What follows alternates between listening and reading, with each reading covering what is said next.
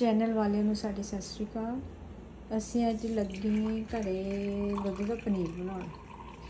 ਕਿਉਂਕਿ ਜੇ ਤੁਸੀਂ ਬਾਜ਼ਾਰ 'ਚੋਂ ਪਨੀਰ ਲੈਂਦੇ ਆ ਤਾਂ ਉਹ ਮਹਿੰਗਾ ਵੀ ਪੈਂਦਾ ਹੈ ਤੇ ਦੂਸਰੀ ਗੱਲ ਇਹ ਵੀ ਕਦੋਂ ਦੀ ਪੈਕਿੰਗ ਉਹਨਾਂ ਨੇ ਕੀਤੀ ਹੁੰਦੀ ਹੈ ਪਤਾ ਨਹੀਂ। ਇਸ ਕਰਕੇ ਇੰਨਾ ਸੇਫ ਨਹੀਂ। ਘਰ ਦਾ ਪਨੀਰ ਤੁਹਾਡੇ ਲਈ ਸੇਫ ਆ। ਸਿਹਤ ਲਈ ਵੀ ਵਧੀਆ। ਸਿਹਤ ਲਈ ਵੀ ਵਧੀਆ ਕਿਉਂਕਿ ਅਸੀਂ ਆਪਣਾ ਪਨੀਰ ਫਰੈਸ਼ ਬਣਾਉਣੀ ਤਾਂ ਫਰੈਸ਼ ਤੁਸੀਂ ਜਿੱਦਾਂ ਵੀ ਕਰਨਾ ਜੋ ਵੀ ਬਣਾਉਣਾ ਤਾਂ ਬਣਾ ਸਕਦੇ ਆ। ਤੇ ਹੁਣ ਅਸੀਂ ਦੁੱਧ ਨੂੰ ਬੋਇਲ ਕਰ ਲਿਆ। ਬੋਇਲ ਕਰਕੇ ਹੁਣ ਉਹਦੇ ਵਿੱਚ ਐਪਲ ਸਾਈਡਰ ਵਿਨੀਗਰ ਵਿਨੇਗਰ ਪਾਉਣ ਲੱਗੇ ਆ ਇੰਨਾ ਕੁ ਪਾਉਣਾ। ਇੰਨਾ ਕੁ ਵਿਨੇਗਰ ਪਾਉਣਾ ਵਿੱਚ। ਤੇ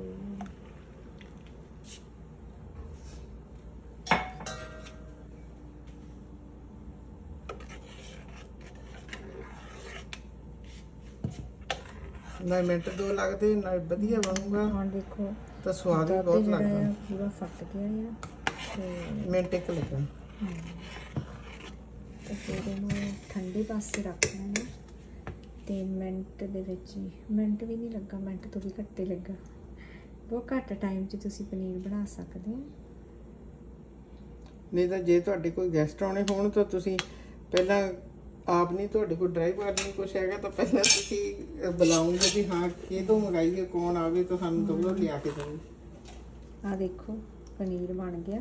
ਮਿੰਟ ਇੱਕ ਲੱਗਾ। ਤੇ ਹੁਣ ਇਹ ਪਨੀਰ ਅਸੀਂ ਕਿਸੇ ਕੱਪੜਾ ਰੱਖ ਲਿਆ ਸੀ ਤੀਲੇ ਦੇ ਉੱਤੇ। ਉਹਦੇ ਵਿੱਚ ਕੋਈ ਵੀ ਕੱਪੜਾ ਤੁਸੀਂ ਲੈ ਸਕਦੇ ਹੋ ਕਾਟਨ ਦਾ। ਕਾਟਨ ਦਾ ਲੈ ਲਓਗੇ ਤਾਂ ਬੈਟਰ ਹੈ ਵੈਸੇ। ਉਹਦੇ ਵਿੱਚ ਅਸੀਂ ਸਾਰਾ ਪਨੀਰ ਪਾ ਲੈਣਾ। ਇਹ ਪਨੀਰ ਇੱਕ ਹਾਂਜੀ।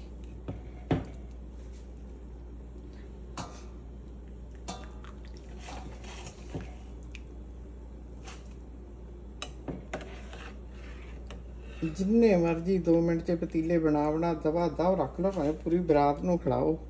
ਜਿੰਨੇ ਮਰਜ਼ੀ ਗੈਸਟ ਆਉਣ ਫਟਾਫਟ ਘਰ ਦਾ ਪਨੀਰ ਹੁੰਦਾ ਨਹੀਂ ਤਾਂ ਤੁਹਾਡੇ ਬਹੁਤ ਮੰਨੀ ਲੱਗੂਗੀ। ਆਪਾਂ ਜੋ ਕਿ ਇਦਾਂ ਪਤੀਲਾ ਵੀ ਰੱਦ ਸਕਦੇ ਆ ਉਹ ਵੀ ਪਾਣੀ ਹੌਲੀ ਹੌਲੀ ਨਿਕਲੂਗਾ ਨਹੀਂ ਤਾਂ। ਹਾਂ ਇਹਦੇ ਨਾਲ ਪਾਣੀ ਤਾਂ ਜ਼ਿਆਦਾ ਨਹੀਂ ਕੱਢਣਾ ਬੰਨੇ ਤਾਂ ਪਾਣੀ ਸਾਰਾ ਫੇਰ ਕੱਢਣਾ ਪੈਣਾ ਸਾਨੂੰ। ਟਾਈਮ ਲੱਗ ਜਾਣਾ ਇਸ ਕਰਕੇ ਇਹ 'ਚ ਪਨੀਰ ਪਨੀਰ ਕੱਢ ਲਈਦਾ। ਜਿਹੜਾ ਇਹਦਾ ਪਾਣੀ ਹੈ ਜੇ ਤੁਸੀਂ ਪਿੱਛੇ ਗਾਰਡਨ 'ਚ ਪਲਾਂਟ ਵਗੈਰਾ ਬੀਜੇ ਉਹਨਾਂ ਨੂੰ ਪਾ ਸਕਦੇ ਬਹੁਤ ਹੈਲਦੀ ਹੁੰਦਾ। ਆਰਗੈਨਿਕ ਚੀਜ਼ਾਂ ਲਈ ਵੀ ਵਧੀਆ ਹੋਊਗਾ। ਠੰਡਾ ਕਰਕੇ ਪਾਉਣਾ, ਪਰ ਗਰਮ ਨਹੀਂ ਪਾਉਣਾ ਤੁਸੀਂ। ਆਪਾਂ ਇਹਦਾ ਥੋੜਾ ਜਿਹਾ ਇੱਧਰ ਕੱਢ ਕੇ ਰੱਖ ਲੈਣੇ ਆ ਆ ਜਿਹੜਾ ਪਾਣੀ, ਤਾਂ ਆ ਦੇਖੋ ਥੋੜਾ ਜਿਹਾ ਇੱਦਾਂ ਲੱਗਦੇ ਆ ਬਾਕੀ ਪਾਣੀ ਆਪਾਂ ਇੱਧਰ ਪਾ ਲੈਂਦੇ ਆ ਬਾਕੀ ਪਨੀਰ ਜਿਹੜਾ ਕੱਢਿਆ ਹੋਇਆ ਇਹਦੇ ਵਿੱਚ ਪਾ ਦਿੰਦੇ ਆ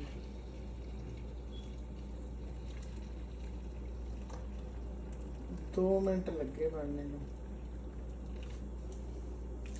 ਜੀ ਆ ਦੇਖੋ।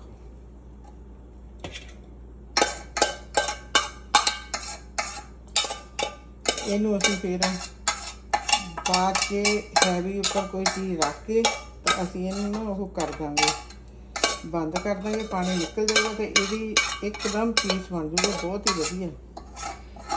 ਖਾਣੇ ਇਸ ਤੈ ਬਣਾਉਣ ਲਈ, ਇਹਨੂੰ ਰੱਖ ਦੇਣਾ ਇਸ ਵੇਟ ਦੇ ਕੇ। ਤੇ ਫਿਰ ਅਸੀਂ ਤੁਹਾਨੂੰ ਬਣੀਆਂ ਪਨੀਰ ਦਿਖਾਵਾਂਗੇ।